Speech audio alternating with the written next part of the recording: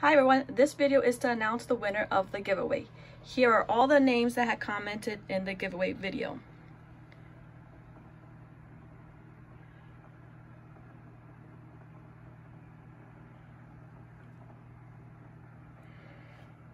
There will be one winner that chooses any two toys. I will be cutting them up into strips and putting them in the bucket. I will be choosing one lucky winner. Okay, let's find out who's the winner. Shake it up.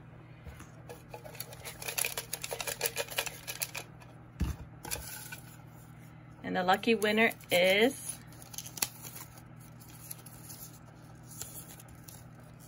Val G. Congratulations, Val G is the lucky winner. You could choose two toys from the giveaway video.